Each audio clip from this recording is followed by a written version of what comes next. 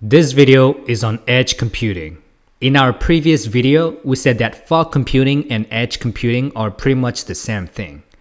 Just like fog computing, edge computing is defined as the computational processing of sensor data away from centralized nodes and close to the network's logical edge toward an individual data sources, basically bringing computational processing closer to whatever is catching the data.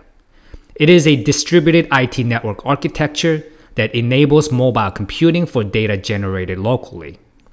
But edge computing brings it even closer. Let's look at this image. Because of Internet of Things has introduced a virtually infinite number of endpoints to commercial networks.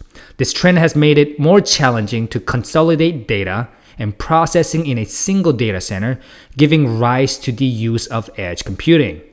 Edge computing architecture is simply just an extension.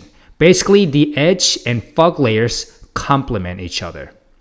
Fog computing uses a centralized system that interacts with industrial gateways and embedded computer systems on a local area network, whereas edge computing performs much of the processing on embedded computing platforms directly interfacing to sensors and controllers.